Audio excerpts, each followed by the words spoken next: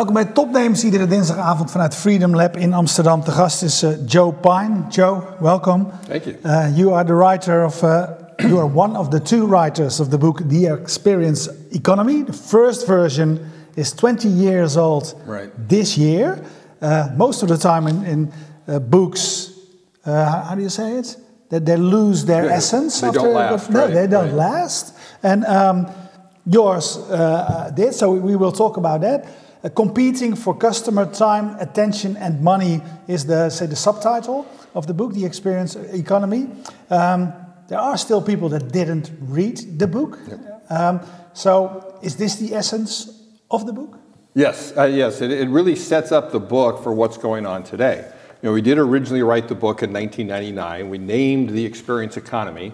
Uh, back then, I used to have to argue with people that this was happening and, and convince them and that. And now, if they've never heard of it, I just have to say, hey, goods and services aren't enough. What people want to their experiences. And everybody goes, well, yeah, I get that. And that's a key distinction that's happened in the 20 years. But I'm actually hoping, even though this is the third edition, we updated it in 2011, uh, and now we re release it in hardcover with a new preview. But I am hoping people discover it in a bookstore and say, wow, that sounds really good. I'm glad somebody wrote a book on this, right? And don't even realize how long the That's, um, concept's been around. Yeah. You, you uh, launched the third edition uh, two weeks ago in, in the United States. Yes, yes, in the Uh, Rock and it's Roll Hall of Fame in Cleveland. Yeah. Yeah, it's updated. Yes. Uh, what did you update? I Well, what we updated after, here- I mean, it's a, it's the concept is 20 years old. Yes. And it's still valid. I mean, otherwise the book would not be alive. Right. But what is new in the new version? Yes, you know, so because we didn't identify a fad, right, but a fundamental change in the fabric of the economy. But one of the things we've seen in the last 20 years that because of this shift into the experience economy, that, that every company, every business is now competing against the world with every other business for the time, attention, and money of individual customers. Right? These are the currencies of the experience economy. And time is limited. You know, we can only experience things 24 hours a day, seven days a week. we got to fit sleep in there sometime. But if somebody captures my time and I'm spending time with them in an experience that they've created, what I'm not doing is spending that time with you. Right? So you're competing Yeah, against for, for, for people for whom it, this stays an abstract uh, Mm-hmm. concept, give us some examples of companies that do really well. this- Well, you, so you know, one of my favorite examples, of course, is Starbucks. Yeah. Right, you think about Starbucks taking a coffee bean as a commodity worth two or Yeah. three cents and turning it into a drink that, because they have the ambiance in the theater, a place where you can sit and enjoy that cup of coffee, Yeah. spend time in there, then uh, then they can now charge you know three, four, five euros for that cup of coffee. Uh, and, and what it is is sort of like this mini vacation that you have during the day. And when I'm at a Starbucks, right, I'm not someplace else experiencing what they have to offer. And the essence of what you are saying is this is not about the quality of the coffee, not only. Not only, right? You, I mean, experiences are built on top of services, on top of goods, and top of commodities. So if you start with lousy coffee, it's not going to work. If you have lousy uh, drinks, it's not going to work. If you have poor service, it's not going to work. If you have poor But you Wi-Fi, it's not poor Wi-Fi, it's not going to work. but you put all those together and build them up into an experience where people value the time that they spend with you. Right? But, ha- but hasn't that always been the case then? Because time has always Yes, uh, yes. been. Well, well, it's always been the case. Experiences have always been around. It's not a new economic offering, but one that we can we can newly identify. Right? We can pull it out of the service and say it's really distinct. It's not a service. It's something different. Services are about time well saved, but experiences are about time well spent. So yes, we've always had experiences, but as economies have grown, right, you have two factors. You got supply and demand right? On the demand side, people increasingly want experiences. They want to spend their time. They realize experiences make us happier than buying things. And so people want goods and services to be commoditized in order to spend their hard earned money and their harder earned time on the experiences that they value. Mm-hmm. And then on the supply side, business is always a search for differentiation.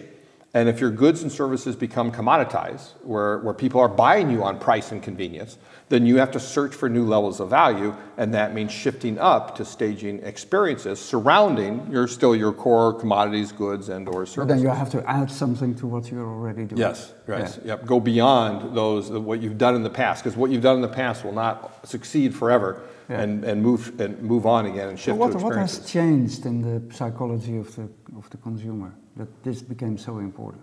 Well, it's it's you know it, it partly it's that, that people have, have noticed that they value experiences. Partly it's that our time, in fact, is worth more than it used to be because we, in developed countries, we make so much more money than we used to. You know, time is money, right? It's part of the reason that you're competing for money. Uh, and, and what we actually recommend companies to do is they measure not the time value of money, but the money value of time.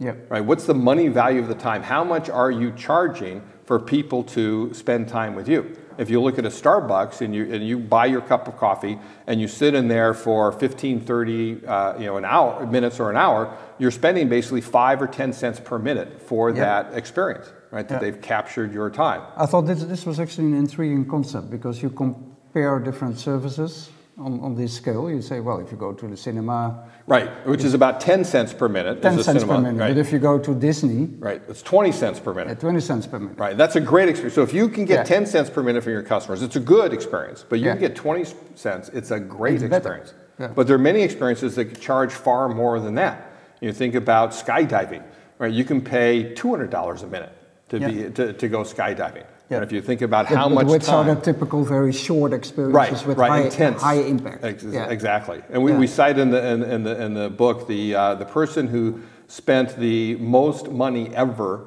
for an experience, right, that we know of is Dennis Tito, who in 2001 paid $20 million to spend eight days in space. Yeah. Right? So he had, in Yeah. you know, 2001, he had a space odyssey. Yeah. And if you calculate that out, it's around $1,750 per minute.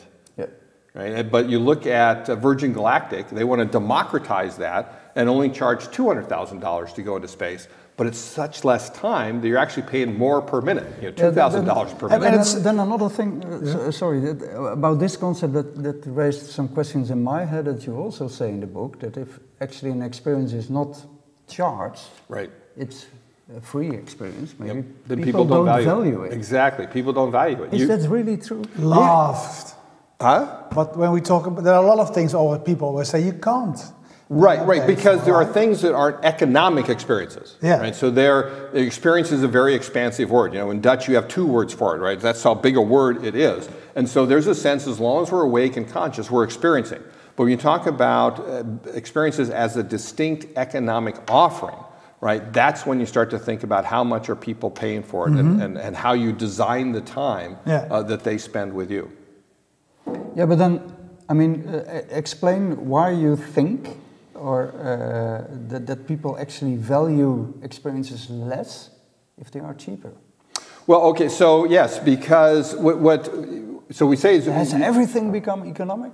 No. No, everything isn't. So you know, love is not an economic experience, right? Yeah. You can have a wonderful family dinner, right? Or you can create a romantic, you know, uh, a weekend at home, right? A, a stay vaca- a staycation they call them, right? Yeah. Uh, and not spend a lot of money being able to do that, and that's fine, and, and we've always done that.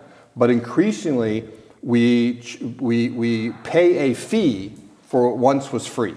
In other words, we increasingly pay other people for the experiences that we have rather than be responsible for them for ourselves. It's the same way if you go back to the agrarian economy, right? 90% of the people worked on farms. They, they, and eventually, though, we're able to buy produce from somebody else who could do it more efficiently, more effectively than we could do it ourselves. And so we moved into, into goods, right? We used to make our own clothes. We used to make the tools that we use in our trade, if we're a cobbler or we're a Yep. carpenter or whatever. Uh, but eventually we, we purchased those things from other people, right? So we paid a fee for what once was free. Same with services. We used to change our own oil in the car. When was the last time you, you, did you change an oil in the I did it three months ago. Did you really? I haven't done it in I'm still doing it. 29 years. right? But 90, over 90% of the people pay Yeah. somebody else to do that, right? Or cut your hair, right? We used to, you know, I remember when I was a kid, but- my but- father would get out the scissors and cut my hair. But now I pay also somebody see else. the, the tendency in, a, in almost anti, you know, uh, circular way that people actually value things that Sure. are not priced Sure. more these right. days. Right. It, it's, So- it, it's been said that every trend sows the seeds for its counter trend. walking for a few hours through the forest, you know, doesn't Yes. cost you anything. Yes, and and um, and there are many experiences like that. But even if you're walking through the forest, right, there's still a company that uh, that built the car that takes you to the edge of the forest, right? The- there's a company that, that that made the clothes that you're wearing to protect yourself from the forest. There's a company that's providing the cell phone service in case you get lost in the forest. Yeah. Uh, and, and so that there's still everything comes down to economics at some point. Yeah. And um, but but in charging a fee, you know, the basic principle is that as a company, you are what you charge for. Right? You are what you charge for. If you charge for undifferentiated stuff, you're in the commodities business. If you charge for tangible things, you're in the goods business. Yeah. If you charge for the activities your people perform, you're in the services business. But you're in the experience business economically if and only if you charge for time. And that means an admission fee or a membership fee. And an admission fee, what it also does, it sends a signal that this is a place worth experiencing. Yeah. Right, and gives you the wherewithal to create a great experience. And if you don't charge for it, well, then how you know how much how much can it be worth, right? Because you don't even think it's worth anything. Why should mm-hmm. I think, as your customer, it's worth something? That's why it's important to eventually align what you charge for. And unconsciously, people even start thinking, why is this free? Right, And- exactly, And, we'll probably exactly. not trust it. And Yep. think, yeah, does he want my data? Does he want, what Right. does he Well, want? Yeah. look at look at Facebook and Google, right? They're free, right? You get and you get tremendous value out of it. But guess Yeah. what? You're not the customer. Yeah. They're advertising companies. It's the advertisers that are the customer. You're the product. They want Yeah. to take your data, but instead, if they charge for it, right, then it'd be a different relationship. Like Oh, yeah. look at Amazon. Definitely. Amazon. Everybody that goes to Amazon is a customer. If you're an Amazon Prime member, you are a member. They're paying per year a t- for a time to be to get access to to uh, you know, faster shipping and so Yep. forth. And that's a different relationship than it is with Facebook or Google, where you're the product, not the customer. He, uh, earlier on, we, we, we, we talked about, say, if one company, it's 20 cents per minute and another's more. How, how can you find out what, what is sort of the, the maximum for your, for, for your product? Could this coffee uh, become, say, 10 euros? Uh, Sure. There, there- well, you can go to a Starbucks Reserve Roastery, and you can pay twelve dollars per cup of coffee and. Okay, yeah. There, you can go to a Blue Bottle in San Francisco and pay fifteen dollars for a cup of right there. The sky is the limit Yeah. on how much you, you can charge because Yeah. you you've created this this this coffee culture, and people are you, you'd be surprised at how much people are willing to pay. Right? There's this new genre of experiences like they're, they're generally called interactive art exhibits, whether it's Meow Wolf or it's the Museum of Ice Cream or the Rose Mansion, uh, Candytopia, right? And they're charging $30, $40 for an hour or two, right? Tremendous uh, uh, uh, money value of time. Don't, we, don't we just have too much money? Is that the Well, problem? uh, we have we have a lot of money now. We don't, we, and we don't, and we have we don't need more stuff. That's the thing. We're at peak stuff. We don't need more stuff. People so don't let's know what spend our do. money on experiences. yeah. That's the underlying mechanism, you think? Yeah. Yeah. It's all, and again, the, the fact that we have more money makes our time more valuable. Again, because money is time, time is money. Are the opportunity cost of where we can use that money and where we use that time are, are much higher than they used to be because we, we are more wealthy, again, in, the, in the developed world. Yeah. Um, we, we- talked about it al- alre- already for, for, for a bit, but um, if, if I can ask you again, so in those 20 years, Yes. how has your view on the experience uh, economy uh, changed? Well, there, there is nothing that we would say we got wrong. there are a lot of examples that, that have died, right? Because anytime you have one, one of these economic shifts, there's a lot of experimentation, and only the best companies are going to survive. But in terms of the principles that we outli- outlined, those are all valid. Now, there are been been a lot of things that changed. For example, though, you know, in 1999, the, the internet and the World Wide Web were just five years old. Yeah. And so what has Yeah. happened since then is an explosion, right? The smartphone wasn't even in Steve Jobs' mind in 1999, right? It came, it came out later. And now we have a smartphone that we can drop into and have a virtual experience anytime we want, right? It's basically Yeah, a isn't it window. amazing? It was around the, the internet bubble, right? It was, uh, Well, yeah, 1999, 2000, yeah, 2000, yeah, right, right. Yeah. No, I think it's still so amazing that the first time you, I saw you uh, on stage Right. was about 10 years ago on Yep. Momo Right. here in the Rode Hoed in Amsterdam. The, the iPhone wasn't there. No. It's only 10 years ago. Right. Imagine. Yeah. Right. So what you mentioned the, the, the mobile phone. What has the mobile phone changed for Well, one is the smartphone is the number one competitor for attention. Yeah. right? That you can pick up your smartphone and you can be out of whatever physical experience you're in in, a, in, in the touch of, uh, you know, the tap of your finger. And so it's competing for attention. You have to grab people away and provide a better experience than what they're able to get off of their smartphone. And if you have a, a bad experience, or that Mobile Mondays, right? You remember that some people had like boring speeches and that, and so people are checking out and they're doing their, they're working on their phone, they start checking their email and that sort of thing. so it means you have to be engaging. You have to ensure that you are truly engaging them over the entire time of the experience so they don't drop out of People it. are distracted really quickly. Exactly. Yeah. And that's that, that, that's that competition for At the same time, you also write uh, in your book about something that's still intriguing me. You said, well, um, if people are on their smartphone or using their smartphone during an event, they are not in the moment. Right. So they don't, you don't. Right. And that's what we parents say to our children. Yes. Peop- Well, yeah, you we- say it's probably the other way around. Right, but yeah, exactly. If you don't make pictures during a concert, you are not in the moment. Right. So- So, it is it is this sort of this dichotomy of the smartphone, right? Yeah. Is it being used to enhance the experience, or is Right, it being th- used to detract from it? that's an intriguing And there there have been studies Yeah. done that actually look at it. Like you, I'm sure you've you've, you've seen the pictures of, of in front of the Mona Lisa in the Louvre, right? And everybody's holding up their smartphones, Mm-hmm. Uh-huh. Yeah, like they're not in the experience. Especially the Japanese. Right, exactly. They're way out there. Yeah. And, it, it- and, and research shows that, that if you're not very intentional about your use of it, it is in fact lessens the experience. But if you're intentional about it, if you think about where do you want to take the picture, what are the elements you want, how do you want it to compose in that, then you actually start to pay attention to details more. And it actually Yeah, brings that true? you in. Then, then how, how do you look at that, that, that wish that all those people have to instantly have a shareable picture Right, the, the of a moment they are Instagrammable in? places, right? And that's, that's what the. I mean, the- are you in the moment or are you there to show to others that you are in Exactly. the there is a lot of that going on. And I think Yeah. it's a trend that hopefully will work itself out. That you actually be there for the experience rather than be there to share the experience online. You know, the fear of missing out and all that. The fact that people say that, if, that if, if you haven't posted it, then it didn't happen. Right? I think eventually we'll figure out that, that no, that we're actually missing a lot of the experience. And it'll be particularly when the people who are doing that have kids and they recognize that the kids are not in the experience if you're doing that. You know, it's like what you talked about. You know, if, if I, as a parent, at the dinner table, and I pull out my phone and I start to do things, well, then you're teaching your kids. That's how the world works, and that's how they should act. Mm-hmm. Instead of saying, no, this is a time where we're here together, we're in the moment. I love the term.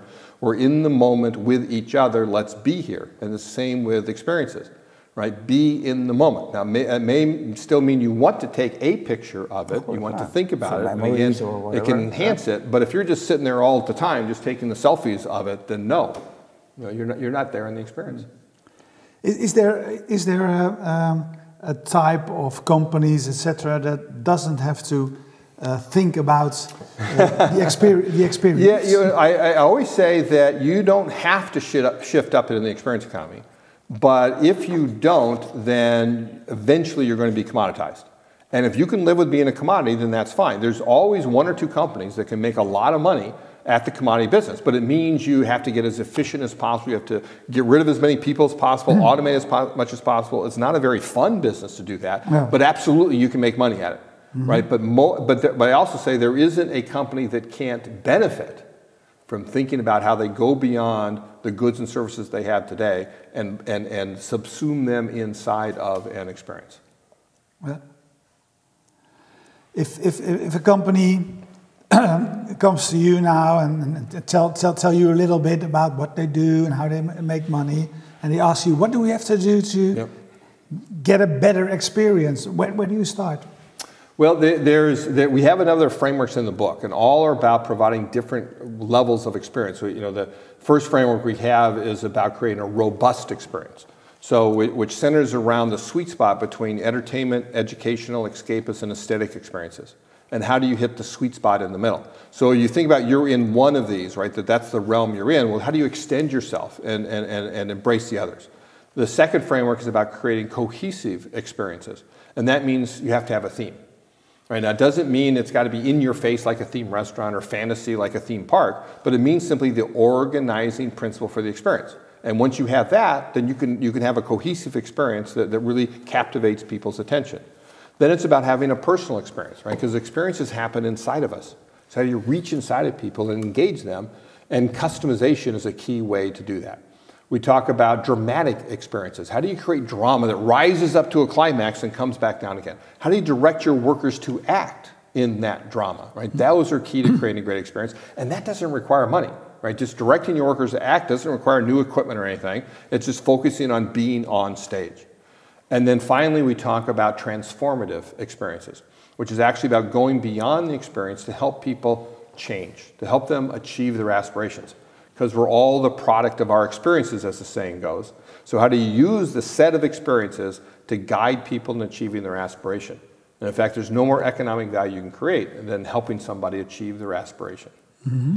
Yeah, that last category, the transformational or transformative, how do you call yes, it? either one works. yeah, either one works. Uh, that really intrigued me. Uh, can you give us some examples of how? Uh, well, sure. Uh, there are many industries that are naturally in the transformation business, like healthcare. Right, yeah. healthcare, going from yeah. sick to well. I, mean, I may have a particular aspiration, but you know, in general, I'm going from sick to well. It's a very specific one, but it's also about experiences that really change your view. Of yes, view of the, the world. world of exactly. The, the transformative travel is this huge trend in the tourism industry mm-hmm. where people get away from the ordinary life, where you're most open to change, and now begin to think about your life and reflect on it and be exposed to these other things. And, and, and like you say, really, you know, what's my place in the world? Get out and of your comfort zone and really, yeah. Yep. And then the, another big, you know, fitness centers in the transformation business, but coaches.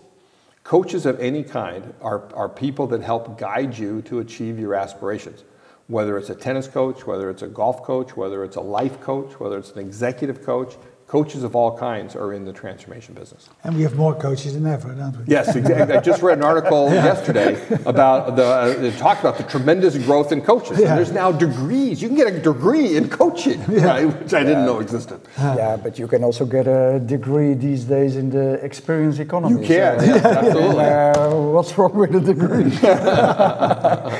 You're offering those courses, yes. You? Yeah. Well, we offer a certification course ourselves, right? Ex, you know, a cert- That's what I mean, experience economy expert certification course, yeah. uh, which is a four and a half day immersion in the experience economy and all the frameworks, all the principles, developing ideas, learning techniques for how to teach them and use them yeah. with, with companies. Can you give an example of, uh, of a student of the, of the course that, you, that you're proud of?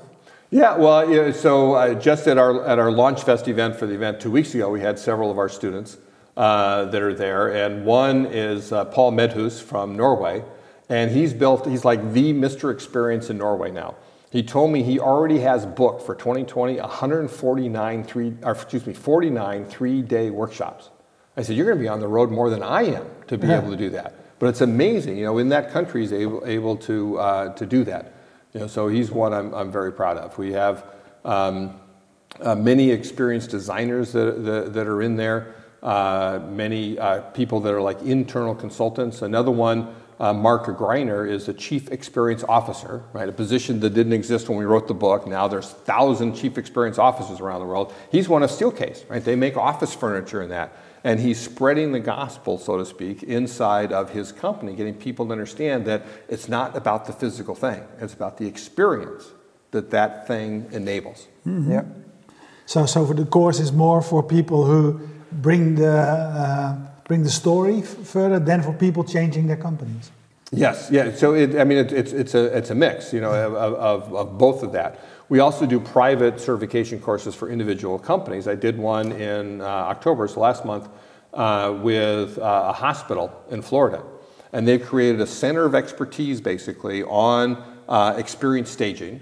And, and while hospitals are in the, the, the transformation business, really, and I emphasize that with them, research shows that the better the patient experience, the better the outcomes, right? The better the transformation. Absolutely. And so they have that center of expertise and they have individual uh, experts inside of each of the various hospitals and medical offices that they have. So train them all so they now have the same vocabulary, they have the same way of thinking. They can then go and teach the next level of people and be the resources that they can draw on throughout the hospital system to, uh, to be able to stage great patient experiences. You uh, mentioned uh, already when I asked for an example uh, Starbucks. Yep. What is a company that you really admire for offering you know, so, great experience? Yes. So yeah. what, what I the, we, we for 20 years we gave out an Experience Stager of the Year award. Yeah. We ran these events we called Think About. It was our opportunity yeah. to stage our own experiences. And, and the last one we gave out in 2017 was to Carnival Corporation, the cruise company. Yep. And Carnival Corporation, I did a series of workshops with uh, Walt Disney World back in 2000s, right? So you know, 12, 15 years ago. And really impressed upon that personal aspect that you need to start customizing the experience, right? And that helped lead into what eventually became the Magic Band, where they can now identify individual customers. Well, John Padgett, who was in those original workshops, who worked on the Magic Band, uh, he left to become Chief Experience Officer uh, and Innovation Officer of Carnival Corporation. And now, and he told me, he says, now I got a greenfield. I can really do everything that, that we wanted, everything that I talked about uh, 15 years ago. And so he's created an IoT device uh, called the Ocean Medallion. And that IoT device allows them to now identify and know every one of the customers on the ships in which So they every, put. every, every passenger who's boarding that ship gets this device. yes. yes. They can track them. They can track them. They know They're tracking the device as opposed to them. yeah, of but course. yes. They know exactly where they are, what they're doing. Exactly. And they learn their preferences. To give them a personal experience. Exactly. So they greet Yeah. them by name because they have their picture, they have their name uh-huh. there. They can learn their preferences. They can learn, for example, when you're on the pool deck with your kids, your favorite drink is an iced tea with no lemon. When you're in the bar with your buddies, though, it's a mojito. And when you're in the restaurant with your wife, it's a glass of Shiraz. Yep. Right? Same customer, but what's the context that I'm in? They create what they call the guest genome, right? What's Yeah. the individual genome of this guest? And then they create a mass customized itinerary where they can give them personal experience invitations to be able to meet the preferences of what they want. Mm-hmm. They can then infer things like if they spend more time than average inside of an experience, then was probably more time well spent for them than the average. So that's the sort of thing that they like. How can we now give them more of that sort of thing, including on the next cruise and the next cruise after that and so forth? So it's I- really the first company that truly mass customizes everything about the experience. Yeah. Can I ask you a last question? Uh, Johan Schaap, uh, you met Johan. He says Amsterdam has a lot of tourists that visit the city for free, between brackets. Um, should there be an entry fee, and how high do you think it should be? Absolutely, there should be an entry fee, right? People in Amsterdam are talking about over tourism. The way they handle over tourism So start charging for the is experience. charging for it. Exactly. I spoke to the UN World Tourism Organization last year in Seoul, uh, Korea, and that's one of the things I said to them. Everybody's talking about over tourism. Simple solution: charge for it. So 10 cents per minute? Ten, look at 10 cents per minute as the sort of average. stay for but two also, days, you know, it's the, the a- city that's doing it now is Venice. Yeah, Right? Venice is probably more over touristed than any other Yeah, city in the working on world. the- on the- and they, and well, they're working on that problem too of the, of, the, of the flood. But they actually are putting in dynamic pricing. Yeah, what I said, right? The more to- full it gets in the they're center, the more on the- expensive it is to get in. Yeah. They're working on the automatic gates where people Yes. have to pay. Yeah. Yes, exactly. That's exactly what, what they should do. Tour, This was tourist your, areas should charge that was your admission. last Yeah. question. Yeah. My last question. Uh, this book is finished. Yes. What's the next frontier? The next frontier is, is um, uh, we've been working on a set of ideas that relate to my first book, Mass Customization, but still embedded in the experience economy, which is that, uh, is understanding that there, there are no markets, there are only customers. Right? Markets are a fiction we tell ourselves and we don't know who our customers really are. Right? But customers aren't part of a market or a segment or a niche or a generation or a persona or any other agglomeration of anonymous buying units of indeterminate size, right? A market is a living, or excuse me, a customer is a living, breathing person. So we need to ascend to the proposition that all customers are unique, right? Undeniably, unremittedly, unalterably unique, and therefore we have to stop marketing and we have to start customering. Okay. we'll wait for the next book. That's right. So that's Yeah. what we're working on hopefully as the, as the next book. Well, Joe, Okay, thank you very much. Thank you very It's a much. pleasure. Thank you for having me. Ja. Jullie bedankt voor het kijken. En eh, je weet, eh, iedere dinsdagavond zijn we er. We doen twee interviews. Kijk je nu live, blijf even kijken, want zo direct praten we verder. Kijk je on demand, dan weet je dat je al die interviews van al een kleine tien jaar kunt terugzien via fastmovingtargets.nl of via YouTube. En ik moet natuurlijk nog eventjes eh, de sponsors eh, melden, Stekel. Ja. De biertjes gaan we zo naar op zoek. Van, eh Normally there are beers on the beers table on the table. Sponsor, our beer sponsor. Okay. We thank our beer, we thank our beer sponsor, Bier en Kan, voor de, voor de beers. Eh, PQR voor de hosting van de website. Jetstream voor de livestream. En Freedom Lab voor eh, de gastvrijheid. Dag.